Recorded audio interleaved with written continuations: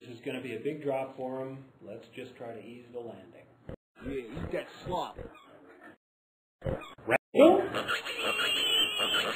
Ladies, don't leave. Thanks a lot, Mark. I already paid for the full hour. You owe me $37. Or I can just take it out of the rent. Your choice. Look, uh, I've got some news that might fix this situation. I'm moving in with Callie. Oh my god. Are you drugged? No, let go.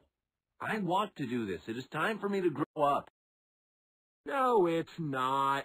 I hate you! Can't we make a deal? This is gonna kill me. Actually, you know what? I'll be fine. I guess I gotta start looking for a new roommate. Actually, I have another arrangement in mind. You continue to use my room for your vile sexcapades, and I nobly use your room as an office. For the private practice I've always dreamed of starting. I'll tell you what, throw in an extra hundred bucks and you got yourself a deal. Fine.